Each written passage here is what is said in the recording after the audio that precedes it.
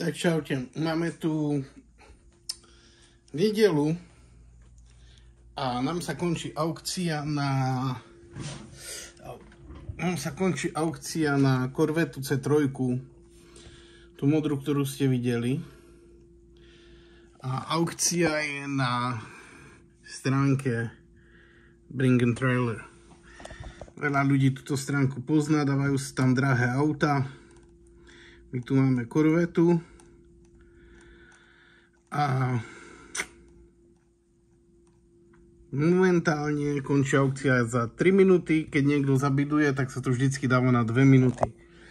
Momentálna cena je vybudované auto na 35 550. Pamätajte, že v aute je 48 tisíc. Takže momentálne to nevyzerá vôbec rúžovo.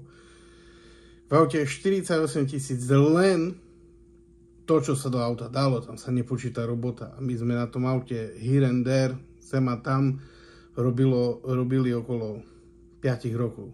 Lebo nie vždycky bol na to čas, ale nemôžete raz za 5 rokov, lebo niekedy to auto stalo aj cez rok. Takže väčšinou ľudia bydujú na konci, uvidíme, ako to pôjde ďalej. Ale Fú. Jedna máme rezervu nastavenú nejakú, ale toto nevyzerá vôbec dobre. Ale že vôbec. Takže uvidíme, uvidíme a potom si aj pozrieme a povieme si k tomu niečo, prečo sa to auto tak asi podľa mňa nevybidovalo. Takže Máme minútu 50 sekúnd konca. 35 550. Tak som zvedavý, kde sa to dostane a či sa to vôbec pohne. Zatiaľ sa to pojíňa už je 35 800. Tak uvidíme, no. Tak zatiaľ aukcia pokračuje. Je tu 43 250. Odstranili sme rezervu Hop, už to skočilo na 45 tisíc. Odstranili sme rezervu, lebo nám už to bolo jedno. My proste po týchto rokoch chceme prachy nazad, lebo to auto proste zhltlo strašne veľa peňazí a za tie peniaze, keď ja to budem utáčať na iných autách, tak mne to nestojí za to, aby to tam proste sedelo. Takže rezervu sme odstranili, zatiaľ strácame nejakých 2750 dolárov plus 5 rokov driny na aute. Takže uvidíme, ešte stále nie je koniec. Fú, práve to skočilo na 48 tisíc. Takže už prehrávame len prácu. tak ideme sledovať ďalej. Ako už sa blíži aukcia ku koncu, 10 sekúnd. 48 tisíc dolárov.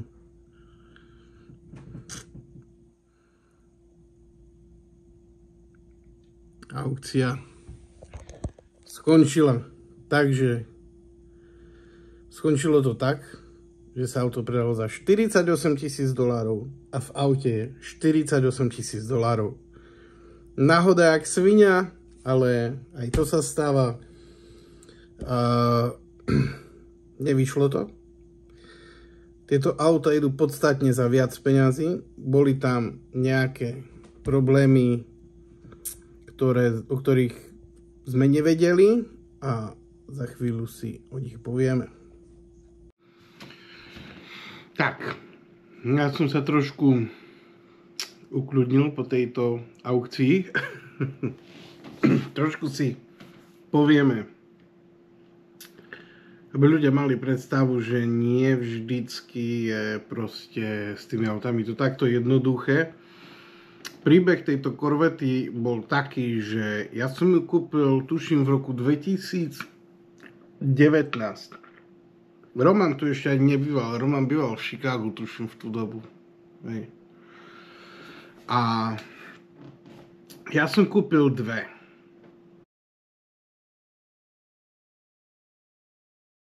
V tej dobe. A stáli nejakých, pff, ja neviem, nepamätám už. 15 tisíc, neviem. Tak nejak.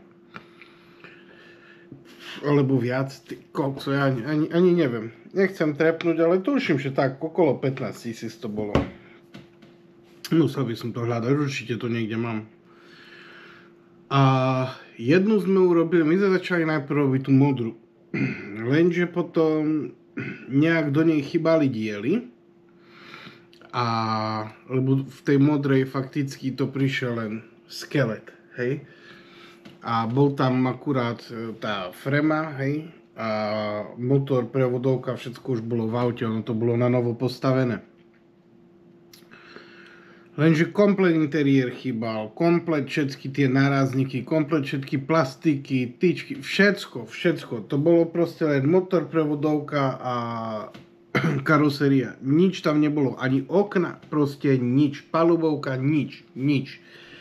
Takže ako chýbalo tam docela veľa vecí. A tá druhá korveta, čo, tam, čo, čo sme s ňou kúpili, tak ja vám tu možno budem aj házať fotky, tak e, vlastne sme sa rozhodli skočiť na tú druhú, aby sme ju dokončili, lebo tá bola v celku, ale trebalo ju porobiť. Takže to môžete vidieť aj, že jak sme to dávali na, oddelovali, hej, a dávalo sa to auto dokopy.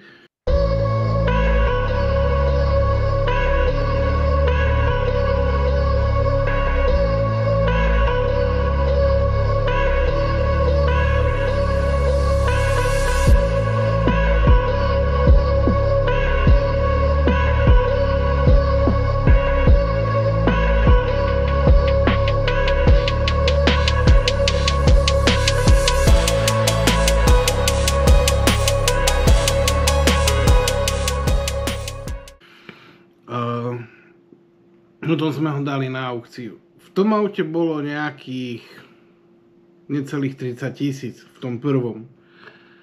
A vtedy to bolo také pred koronou, alebo to vlastne začala korona, teraz už neviem ani. Ale viem, že to auto proste prišla doba, kedy na auta bolo úplne, že nie moc dobrý čas na predaj. No ale potrebovali sme dať čo navrážať aj do tej modrej. Takže sme to dali na Bring Trailer, kto pozná tú stránku, tak vie. A to auto sa predalo za nejakých 26-27 tisíc, tuším. Nepamätám, pozrieme sa, dám tú fotku.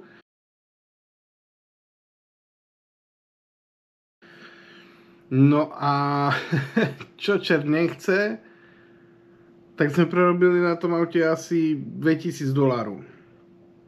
Povedali sme si OK, Stalo sa, aspoň myslím, že to bolo len 2000. Ale tak nejak. Už to bolo dávno, tak nejak sa na tom prerobilo. Mávli sme s rukou, že urobíme parádnu tú modru. Tá modrá sa urobila. Trvalo to, ty vole, 5 rokov. 5 rokov, ale zase to musíte brať tak, že nerobilo sa na tom aute celý čas 5 rokov, hej. To, to auto fakticky 2 roky stálo napríklad, hej. Potom sa robilo e, pár dní, potom sa zase na tom nerobilo niekoľko mesiacov, hej, že fakt ono to bol taký projekt, ktorý my sme robili po častiach, keď bol čas, hej, lebo vy nemôžete teraz zastaviť e, celý biznis a venovať sa 4 mesiace jednému autu, lebo určite by to trvalo 4 mesiace, lebo vy potrebujete žiť, vy potrebujete na výplaty, vy potrebujete na nájom, vy potrebujete na rodinu, vy potrebujete na všetko tu v Amerike. Proste tu v Amerike je život drahý. A fakticky robilo sa to na tie etapy, robilo sa to 5 rokov, zhaňali sa veci, tie veci nie sú vôbec lacné. Ja by som povedal, že to, čo, to, čo fakticky zreštauruješ jednu korvetu takúto, tak by si si zreštauroval tri Mustangy. To ako vám garantujem, to vám garantujem. Pretože tie diely sú 3, 4, 5, 6 násobne drahšie ako na starý Ford Mustang, hej. Takže tie ceny boli absolútne, že brutálne. Zohnať diely bolo fakticky niektoré diely nemožné a celé to reštaurovanie toho auta proste bolo na tak náročné asi, že už to nechcem robiť. Takéto auta, tieto C3. Kopec elektriky, samé tie potlakové hadičky, čo na tom funguje pol auta, hej, proste má, tá naša 69 mala ešte tie optické káble, hej, ktoré išli od svetiel zo všetkých e, dopredu, že keď ste zapli vzadu svetla, tak vám cez optický kábel išiel vlastne, prenášalo to svetlo do diody dopredu, aby ste mali uh, fakticky uh, svetielko, ktoré vám oznamuje, že svietia vám svetla. Masaker. Všetko sa to muselo proste dať nové. Do toho auta sa nasypalo ľudia 48 tisíc. Keď som úplne presný, myslím si, že to bolo toľko. Ja vám to hneď poviem. Pretože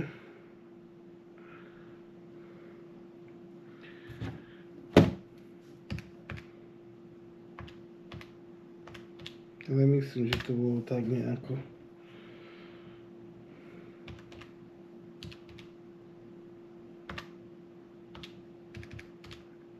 OK. V aute je presne 47 740 dolarov. 47 740. Uh, tak vám poviem. Masaker koľko peňazí sa do toho nasypalo za tých 5 rokov a išlo o to, že tam fakt bolo všetko nové. A to znamená káble. Boli tam nové sklá, boli tam nové, jak palúbka, proste všetko sa kupovalo na novo. Všetko, všetko sa muselo kupovať na novo. Svetla sa museli kupovať na novo. Proste, kom tam nebol jeden originál kábel. Pretože auto, keď sme kúpili, tam nebola, nebol žiaden kábel, takže sa kúpila celá kablovačka. Tá kablovačka do toho auta stala nejakých 2,5 tisíc.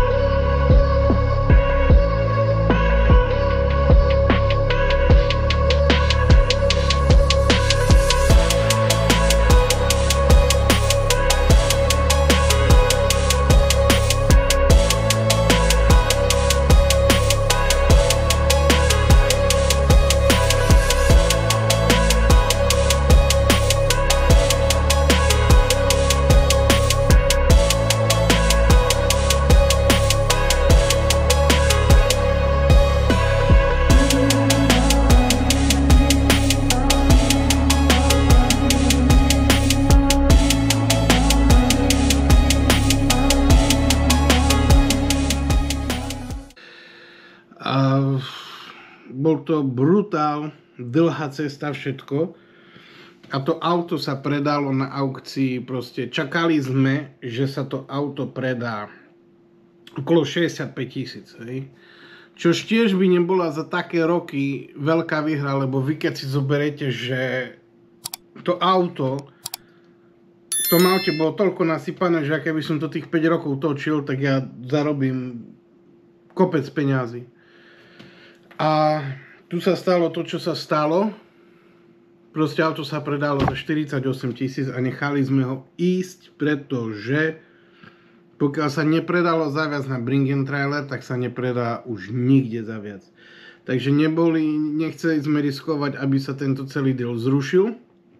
A nakoniec sme skončili, že by sme predávali tak kde inde auto a predali by sme ho ešte za menej niekedy je treba vedieť, že ste tú vojnu prehrali. Ja som vedel, že tá vojna je prehraná už keď to auto bolo asi v polke prestavby. Ja som vedel, že my na tom aute už nezarobíme. Vedel to aj Roman, vedeli sme to všetci. Lenže čo teraz vy urobíte, keď je v aute nejakom nasypaných 25 tisíc? Hej? v tej dobe, v tom, tej polovičnej prestave, my by sme to predali možno za 5-6 tisíc, viac by vám za to nikto nedal, hej.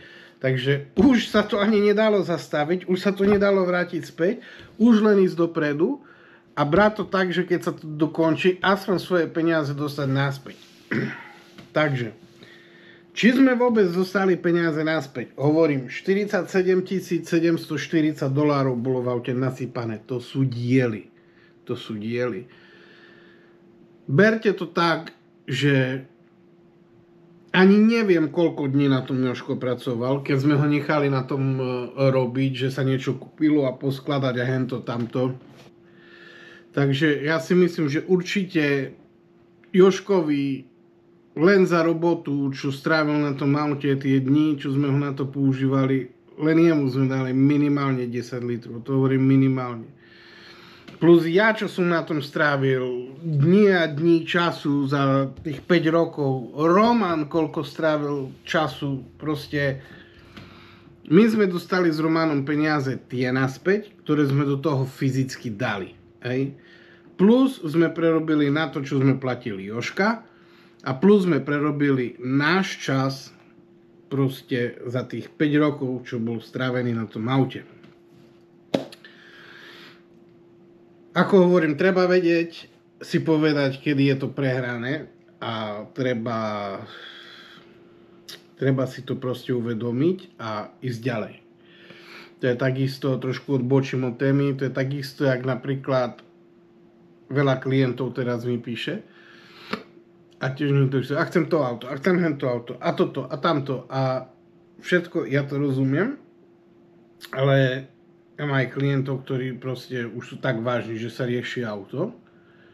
Ale vždy sa snažím tých klientov proste, ja už som sa naučil hlavne pri tom aute. Ukľudniť sa, netlačiť na pilu, proste, lebo potom sa človek dostane do prúseru, hej. Takže radšej v kľude, radšej počkať, nenaťahovať, netlačiť, jedno, proste nekupuješ vec za 5 korún. Hej, nekúpuješ vec za 5 korún, takže vždycky všetko už s kľudom. A premyslieť si to dvakrát. Teraz, prečo sa to auto predalo za 48 tisíc, keď pritom najlepší rok pre Corvette C3 je práve 1969. Sidepipy, Big Block, proste masaker, kombinácia, manuál, kabriolet.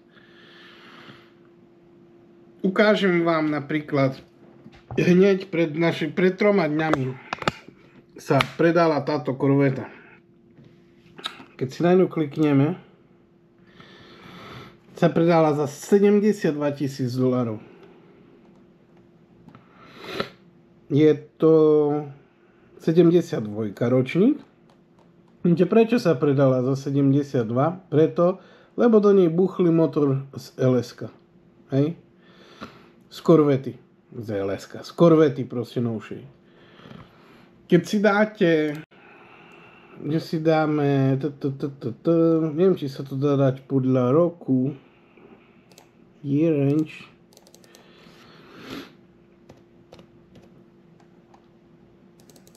že si to dáme takto, že len proste 69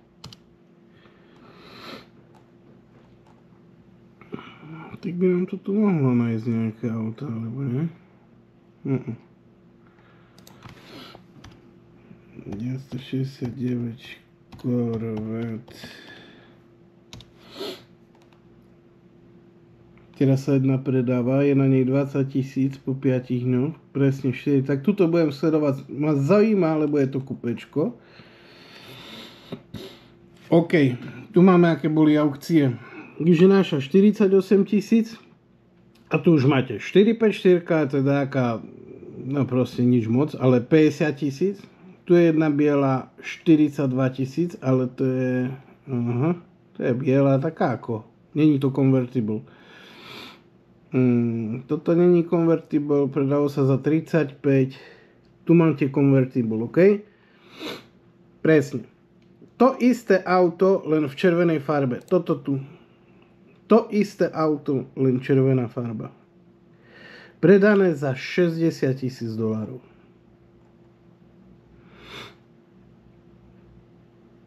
Za 60 tisíc, hej. Ďalej máme tu na zase kabriolet, modrý, taký ako náš,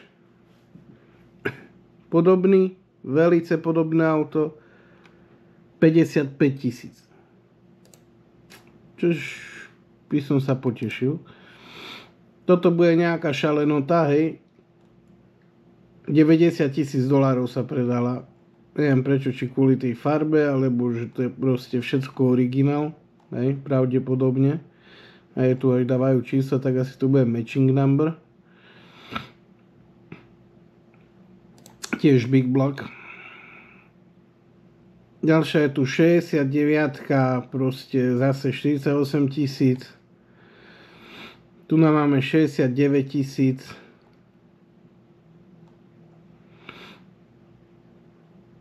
To je 40. Ono, ako my sme na nej v tom aute, akože tu je 39, ako v tom aute by sme ho nepredali zle my sme akože nepredali fakticky zle za 48 tisíc, lebo tak tie auta idú, ale vidíte, že idú aj za 60 tisíc, videli sme aj za 70 tisíc. Proste všetko je všetko je to o tom, ako to auto postavíte a aké to auto je. Čo bola chyba na tomto aute, prečo si myslím, že sa nevybudovalo za viac peňazí, je to, že aj pri prestavbe my sme nie, že nevymenili, alebo že sme sa tomu nevenovali. My sme o tom nevedeli. Takže v prvom rade, čo sme zistili ako hlavný problém, je ten, že keď vy máte big block, tak e, vlastne veľa ľudí si pozera, čo všetko ako big block bolo narodené, aké by s tým autom, hej? A ako bolo od výroby postavené. A už teraz to začalo tak, prvá, prvý problém nastal ten, že my sme vôbec nevedeli, že big block a small block, veľký a malý blok, mali rozdielne tachometre. A tachometre mala, mal big block do viac RPM, do viac otáčok. Čo sme nevedeli. Už sa každý už sa každý toho chytal, že, oh, že to je len vymenený motor, že to ani auto není postavené, ako nebolo z výroby Big Block. Hej. Ďalší takýto znak toho prúseru, čo sme urobili, sme nechali, o ktorom sme nevedeli, že dry shaft vlastne, čo je kardan zadný, tak e, má to štvorbodové ložisko, u nás sa to tu navolá U-joint a malo byť, mali tam nejaké iné rozdiely, iné roz, proste tie rozmery to malo a zase tam je rozdiel pri big bloku a pri small bloku, že ten dry shaft, ten celý ten, ten, ten klb, to všetko, že je iné na big block, pretože má väčšiu záťaž, tak zase už podľa toho vedeli, že ten big block e, nebol ako v podstate od výroby. Čož my nevieme, pretože to auto už niekto začal skladať pred nami. Hej? Takže tam je všetko robené. Ja neviem, kto čo, ak bolo proste kupované predtým, než my sme to začali robiť a skladané. Hej, my sme veľa ani informácií o tom motore nemali. Vidíte, že nakoniec sami, keď sme si robili ten research toho, to skúmanie toho motora, tak sme nakoniec zistili, že to není ani 454, ale že je to 427 auto je jak cukrik. Auto proste, boli nejaké nedostatky, my sme ich opravili nakoniec ešte, takže auto jazdí, auto je pekné, všetko super. Ale stráca to auto na tej originalite a už teraz aj keď poviete, no tak ako není tam ten tachometer, lebo ja som musel kúpiť celý interiér nový, hej. Oni už sa to ťahne proste s tým autom, problém za problémom, to není originálne, hen to není originálne, už je to skladačka. Je to dobre urobené, dobre poskladané, super auto, vzácne auto. Není to originál auto. Takže takéto vecičky vám dajú trošku zabrať na cene a preto to auto, keby bolo také, ako je teraz, úplne by rovnako vyzeralo a dokázali by ste doložiť k tomu, že všetko je originál a mali by ste to originál, tak ja vám garantujem, že to auto poje za 65 tisíc. Garantujem. Tomto prípade my sme o veľa veciach nevedeli, takéto skúsenosti sme nemali ešte s takýmito korvetami, u takýchto veľkých prestavbách proste. Nechcem to robiť už. Neoplatí sa to, žere to čas, žere to nervy a nakoniec sme na tom prerobili. Takže nie vždy je to tak, jak si ľudia myslia a aj tu no napríklad, hej, môžete vidieť, že minimálne minimálne keď zarátam, čo sme aspoň na výplaty dávali, tak sme prerobili fyzicky 10 litrov a ešte 5 rokov trapenia s autom. Takže aj o tom to je. A o tom je aj biznis autami. Ja nehovorím, že sa nám to stáva alebo niečo, ale proste stane sa to a človek na to musí byť pripravený a musí vedieť sa s tým zmieriť a nechať to ísť. Proste, lebo čím viac do toho budete rypať a vrtať sa a snažiť sa to prijať za viac, ja vám garantujem, že tým horšie to dopadne. Takže niekedy je lepšie zabudnúť. Ja myslím, že to je tak všetko o tomto aute. Ja som vám chcel len ukázať, že za koľko sa predala a aký to bol vlastne príbeh toho auta. Ak by ste mali nejaké otázky kolo toho, tak kľudne mi napíšte dole v komentoch, ja si to budem čítať a budem sa vám snažiť odpovedať. Možno, že sa chcete ohľadom toho opýtať niečo iné a uvidíme. Dneska je pondelok, keď ja toto ešte dotáčam, to video. Včera bola aukcia. Ja zajtra ráno idem na tú operáciu, takže toto je ešte video pred. A dám to asi v stredu, keď už budem po operácii. Takže to je asi tak všetko. Dajte mi like, dajte mi koment. A Uvidíme sa v ďalšom videu. Tak čaute.